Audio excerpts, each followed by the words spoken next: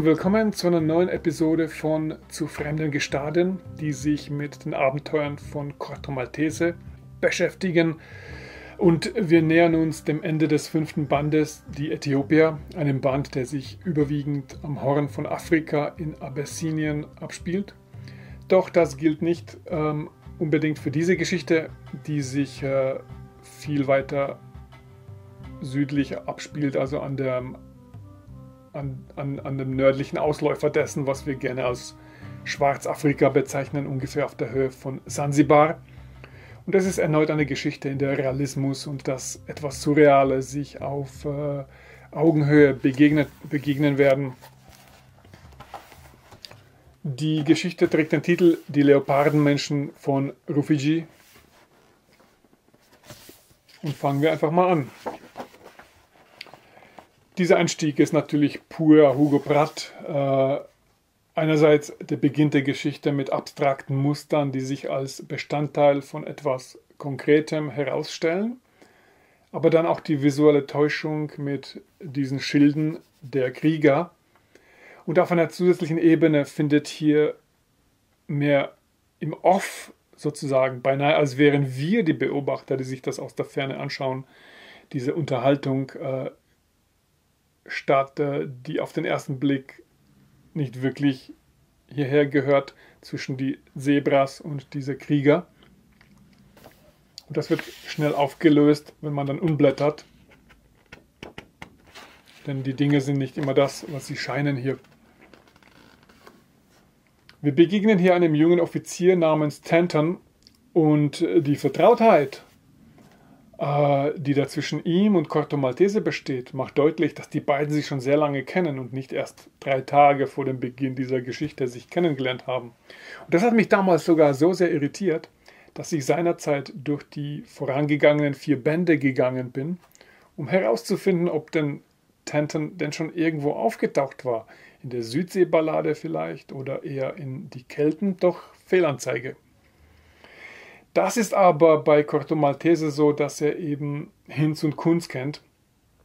Allerdings haben genau das hier später dann die Epigonen Juan Díaz Canales und Ruben Pellejero in 2017 aufgegriffen und in ihrem Band Equatoria verarbeitet. Eine Geschichte, die in der Chronologie der, der Ereignisse lange vor der Südseeballade liegt. Genau genommen vor sieben Jahren also sieben Jahre vor den Ereignissen hier, also in 1911.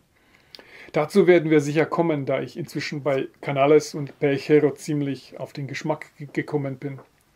Und dort erfährt man auf jeden Fall in Äquatoria, wie sich Tanton und Corto eigentlich kennengelernt haben. Hier an dieser Stelle erfahren wir immerhin, dass Tanton ähm, bei den King's African Rifles äh, in der Stadt Gombe stationiert ist Übrigens, und das nur am Rande, wenn Hugo Pratt hier über Leopardenmenschen spricht, so ist das keine kapriziöse Exotika, sondern tatsächlich historisch begründet. Die Leopardenmenschen, auf Französisch Homme Leopard, war in Zentralafrika ein grenzüberschreitender Begriff für zahlreiche Geheimbünde, die einem Leopardkult frönten, aber in diesen Jahren zugleich auch antikolonialistischen Widerstand organisierten. Die haben also hunderte Leute exekutiert und heute würde man eher von einer Terrorgruppe sprechen.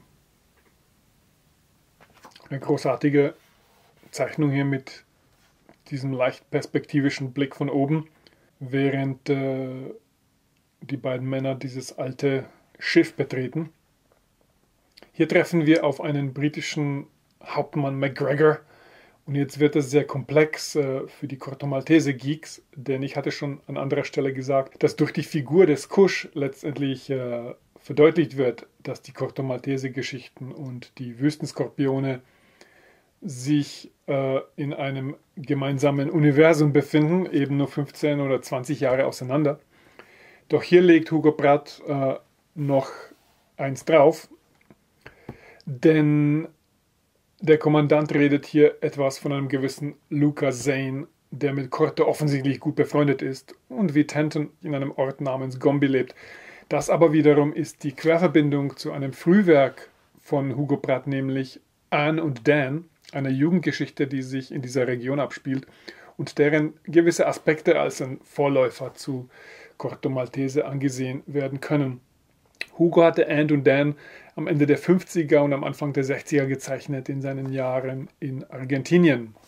Hier kann man diesen Captain McGregor in Anne and Dan sehen, verglichen mit seiner Darstellung in Die Äthiopier. Hier äh, beginnen die beiden eine Unterhaltung über China, ähm, was äh, insofern interessant ist, als dass äh, Corto zwei Aufenthalte in China erwähnt. Der zweite Aufenthalt würde dann später von Hugo Pratt zu dem Prequel-Band La Jeunesse werden. Wie auch immer, Corto wird hier in so eine Art Kriminalfall hineingezogen. Das Ganze ist also durchaus auch eine recht kurzweilige, spannende Geschichte. Hugo Pratt war sehr von Masken fasziniert, offensichtlich. Äh, denn maskierte Krieger und Schamanen tauchen bei ihm auf den unterschiedlichsten Kontinenten auf.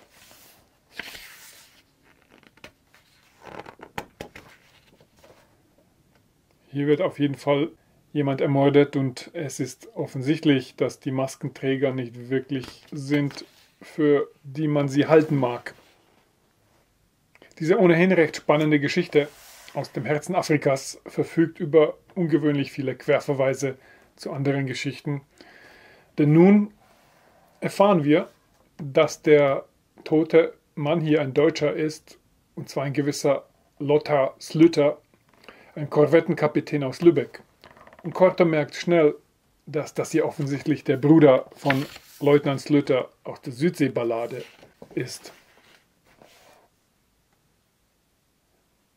Das ist etwas, was Corto keine Ruhe gibt, weshalb er sich entschließt, ähm, den Fall weiter zu verfolgen und hat allerdings auch diesen etwas äh, enigmatischen äh, Führer mit an Bord namens Brukoy,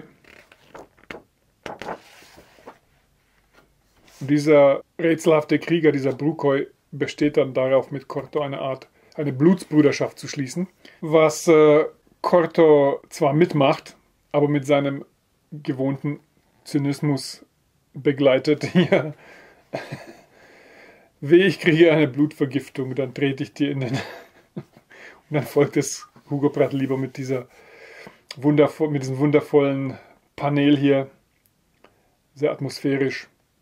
Nun ist es so, dass sie äh, in, diese, in diese Villa hier oder in diese Anlage hier einbrechen und äh, Corto und der Krieger hebeln letztendlich diese kriminelle Organisation aus. Ich will das im Detail nicht alles spoilern, ähm, aber es geht um Spionage. Interessant ist aber, dass dann die Geschichte plötzlich umkippt und in äh, den typischen Hugo Pratt Surrealismus übergeht, denn Corto wird sehr gefährlich angeschossen an dieser Stelle. Diese gesamte Metaphysik ist ja letztendlich nur aus der Schussverletzung heraus erklärbar. Ähm und äh, Hugo Pratt, der eigentlich nicht, nicht wirklich gerne Hintergründe zeichnete, der muss sich sehr gefreut haben, dass er hier diese schwarzen Flächen benutzen konnte und einfach erstmal alles drumherum mit Tusche ausmalte. Und dann wacht er plötzlich auf und befindet sich eben in einem Militärkrankenhaus in einer britischen Kaserne. Großartig gezeichnet, wie Corto hier unrasiert und bärbeißig erscheint. Er trägt dieses RAMC-Hemd, das verweist auf die Royal Army, auf den Royal Army Medical Corps. Das sind also so die Details, auf die man sich bei Hugo Pratt stets verlassen kann. Und äh, damit endet dann langsam äh, Hugo Pratts Arbeit für das PIF-Magazin. Doch zu, zugleich endet damit auch jene Phase von Corto Maltese, die auf Kurzgeschichten basiert. Also insgesamt vier Sammelbände waren das im Zeichen des Steinbocks und immer ein Stück weiter die Kelten und hier die Äthiopier. Von nun an würde Pratt Corto Maltese und diese Reihe nur noch als ein Band eine Geschichte schreiben und zeichnen? Und welche wird denn die nächste Corto Maltese Geschichte in unserer Reihe hier sein?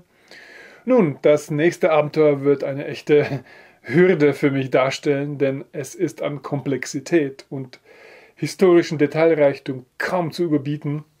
Gleichzeitig ist es sehr lang. Äh, gleichzeitig ist es ein ziemlicher Tapetenwechsel, denn der sechste Band trägt den vielsagenden Titel In Sibirien. Und wer mein Ranking von Corto Maltese kennt, weiß, dass ich diesen Band auf Platz 1 meines Rankings getan habe. Da warten jetzt also massive Hürden auf mich. Und ich muss mit den Herausforderungen wachsen. Wie auch immer. In diesem Sinne, ich hoffe, ihr fand das interessant. Und ähm, ich wünsche euch einen schönen Tag und bis bald oder bis zum nächsten Mal.